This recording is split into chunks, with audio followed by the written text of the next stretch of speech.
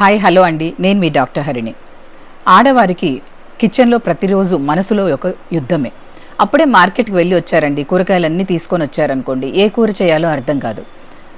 ఒక్కొక్కసారి ఫ్రిడ్జ్లో కూరగాయలన్నీ అయిపోయినప్పుడు అదొకటి అవి ఒకటి కొన్ని కొంచెం కొంచెం మిగిలినప్పుడు ఏం కూర చేయాలో అర్థం కాదు. అలాంటప్పుడు కూరగాయలన్నింటినీ కూడా కలిపేసి అంటే కొంచెం ఆలు బీన్స్ బఠానీ చిక్కుడు అలాంటివి ఉన్నాయనుకోండి వాటిని అన్నిటినీ కూడా కలిపి చేసేయచ్చు. అది ఒక మంచి రెసిపీ అవుతుంది. ఇప్పుడు ఒక హెల్దీ టేస్టీ లో క్యాలరీస్ ఉన్నటువంటి బాగా న్యూట్రీడెన్స్గా ఉన్నటువంటి ఒక రెసిపీని తయారు చేద్దాం.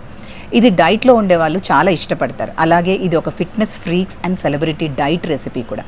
ఇక్కడ నేను జొన్నలు తీసుకున్నానండి. జొన్నలు రాత్రంతా నానబెట్టేసి మార్నింగ్ దాన్ని వడగట్టేసి కొంచెం మిక్సీ జార్లో పల్స్ చేసుకోవాలి. అంటే ఎక్కువగా మెత్తగా కాకుండా కొంచెం బరక బరకగా ఉండేటట్లు తీసుకోవాలి. అలాగే మీల్ మేకర్ని కొంచెం హాట్ వాటర్లో వేసి పిండి తీసుకోవాలి. మష్రూమ్స్ బఠానీ బీన్స్ క్యారెట్ అలాగే ఇక్కడ కొత్తిమీర పచ్చిమిర్చి కొంచెం ఆనియన్ తీసుకున్నాం. ఇక్కడ ఒక కుక్కర్లో కొంచెం నెయ్యి తీసుకోవాలి. దానికి సరిపోయినంత నూనె కూడా వేసుకోవాలి. వేసుకున్న తర్వాత ఒక్కొక్కటిగా మన ఇంగ్రీడియంట్స్ అంటూ వే వేసేసి లోపల పచ్చివాసన పోయేంత వరకు కూడా వీటిని కొంచెం సాఫ్ట్ అయ్యేంత వరకు వేయించుకోవాలి. ఈ జొన్నకు ఉండేటువంటి ఒక స్పెషాలిటీ ఏంటంటే ఇది ఒక వర్సటైల్ కలినరీ ఇంగ్రీడియంట్ అండి. దీన్ని మనం జావ చేసుకోవచ్చు దోశలాగా చేసుకోవచ్చు రోటీలాగా చేసుకోవచ్చు కిచిడీ చేసుకోవచ్చు జొన్న అన్నం చేసుకోవచ్చు జొన్నలతో గంజి చేసుకోవచ్చు. అలాగే ఇంకా బ్రెడ్ ఐటమ్స్ కానీ మఫిన్స్ కూడా చేసుకోవచ్చు. జొన్నలో చాలా ఫైబర్ ఎక్కువ ఉంటుంది. అంతేకాకుండా ఇది వెయిట్ మేనేజ్మెంట్లో చాలా బాగా పనిచేస్తుంది. డయాబెటీస్కి అయితే ఎక్సలెంట్ ఫుడ్. ఎందుకంటే బ్లడ్ షుగర్ లెవెల్స్ని ఫ్లక్చుయేట్ కాకుండా చేస్తూ ఉంటుంది. బాగా స్లోగా డైజెస్ట్ అవుతుంది కాబట్టి. అండ్ న్యూట్రియన్స్ యాంటీ ఆక్సిడెంట్స్ చాలా విరివిగా దొరుకుతాయి.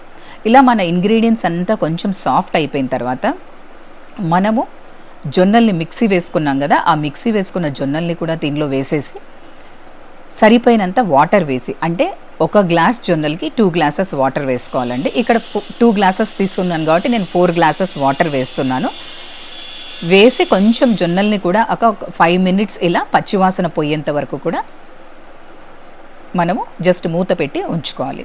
ఫైవ్ మినిట్స్ తర్వాత తగినంత వాటర్ వేసేసి ఉప్పు సరిపోయిందా లేదా చూసుకొని కుక్కర్ మూత పెట్టేసి ఒక ఫైవ్ టు సిక్స్ విజిల్స్ రాణిస్తే మన జొన్న కిచిడి రెడీ అవుతుంది.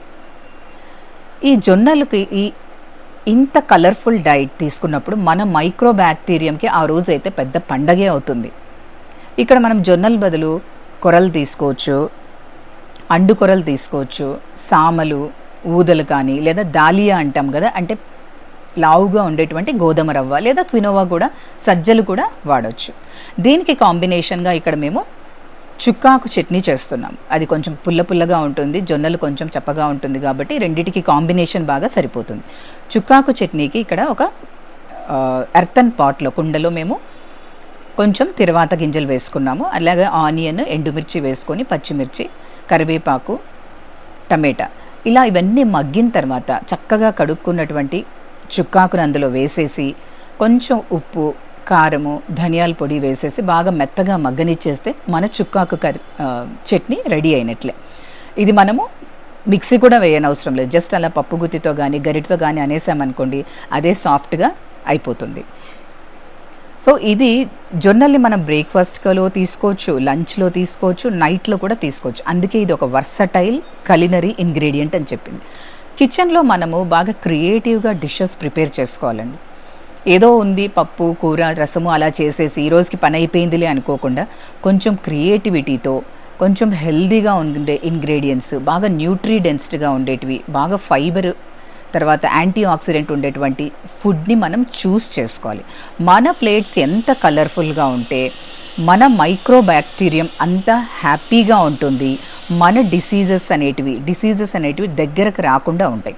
So because food is medicine kitchen is pharmacy